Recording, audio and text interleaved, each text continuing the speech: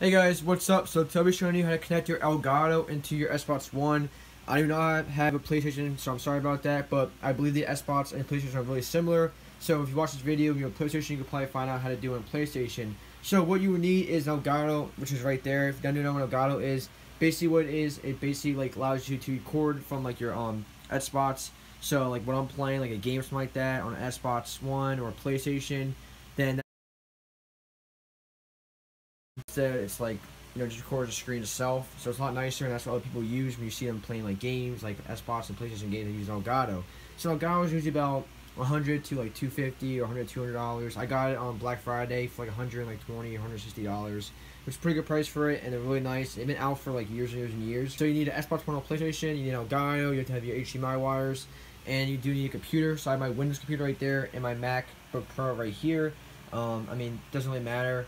So, whatever one you prefer. This one has a lot more space. This one's new, and that one's a pretty old one. I mean, it's a couple years old, and it has like no space on it. So, I'm to download OBS Studio on this, but um, you guys also need to download OBS Studio on your computer, and you need to download Elgato. Um, it's like game capture from the Elgato website. Uh, so basically, how you do this is that you want to um, get your, your Elgato right here.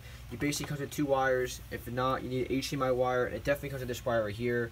This is like your audio one. So you basically have your output right here, which nothing's in there, and then your input, you have your HDMI wire right there, and then the other wire right there. So what you want to do is the wire already in your Xbox, so not this one right here. This is like your power one, the one next to it.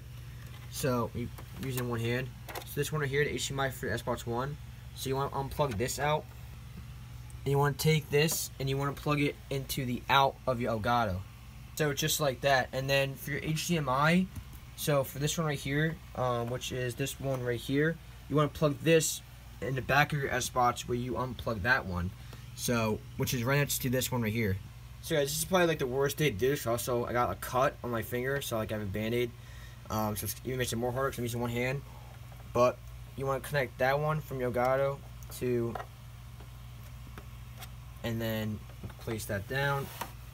And then this one right here, you want to get that wire, which is this one right here, and you want to plug this into your computer. So, before we do that, I just want to say that um, computer doesn't have an HDMI, so the Windows does, but the Mac, this is a new Mac, so it does not have the HDMI. So, don't panic. Um, it only has these things right there. It's like the iPhone charger. You need to buy, I gotta get this from Best Buy on Black Friday, the MacBook Pro. And also I brought this. So you need this thing right here. So from Best Buy, I'm not really sure what it's called. But they know you're talking now if you tell them um, your scenario or something like that. You'd be like, I have a MacBook Pro, and I need to connect the HDMI wire to it, so can I get buy the extension for it, and they'll basically give it to you. I think these were like 20, 30 bucks, something like that. So I think it came in twos. Or no, I bought two of them. Yeah, I think it cost me like 20 bucks each or something, or 15 $20 each. It wasn't that bad. And what you do is you connect this part to the computer and then you plug the HDMI into this part right here, the back part of it right here. So that's what you just need. You just need an extension. So now I'm going to connect, like I said, this thing right here to my Windows. You can do it for Mac too. You just need to put an extension in. So guys, as you're doing this, your TV's not on. It's um, you can't see your Xbox screen yet until you plug this into the computer. All right, so my TV's not on right now. I'm gonna plug this to computer. There we go. I just plugged it in and now my TV, now my Xbox screen should be showing because I plugged into my computer and there we go. So like I said, you need OBS Studio or the game capture for this. So guys, um, I only have OBS Studio because I only have that much space to install the um, Elgato game capture. Like I said, all the websites will be down in the description. And so basically, before I begin guys, I just want to say that with OBS Studio on the Windows, um, it wasn't working at first with the Elgato. And for the Mac, it does not work, but it does work with the Windows.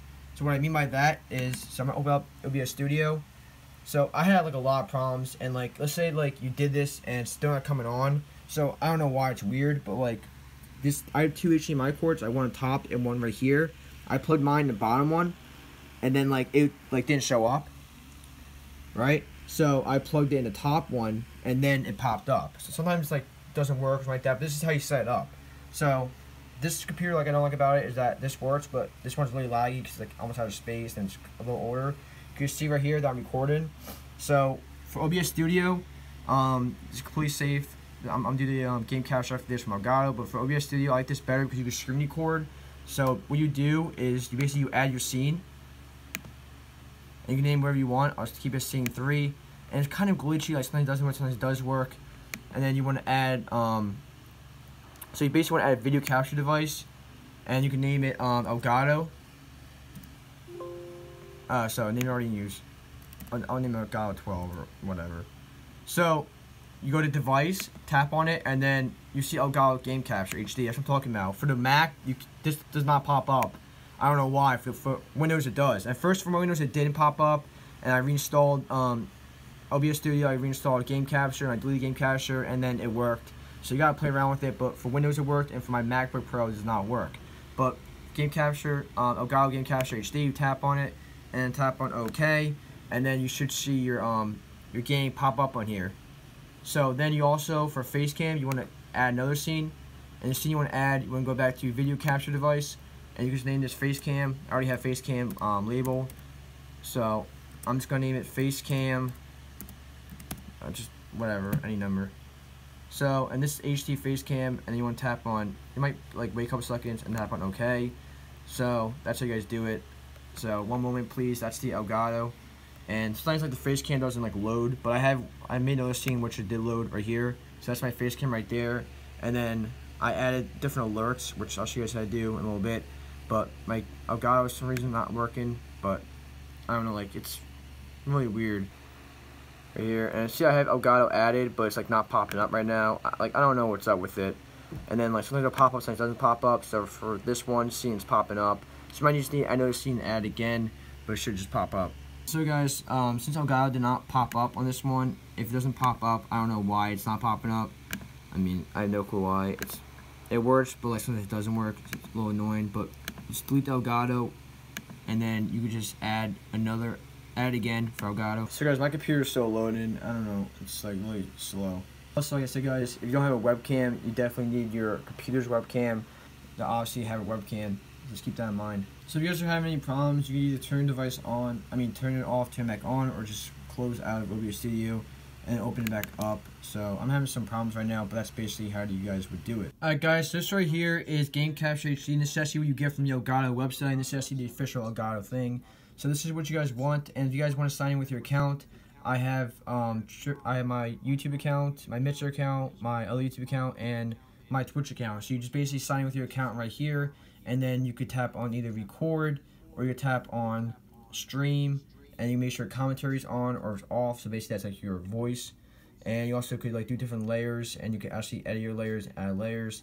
So that's pretty cool. I really like about that. Um, the thing about uh, this is if only for Elgato you can record Elgato or you can't with OBS Studio you could record your screen and you could do all that stuff and you could add the um just you could add like different gestures like someone subscribed to you or someone followed you and then like dancing zombie whatever you only can do it with OBS Studio. You cannot do that with Game Capture HD.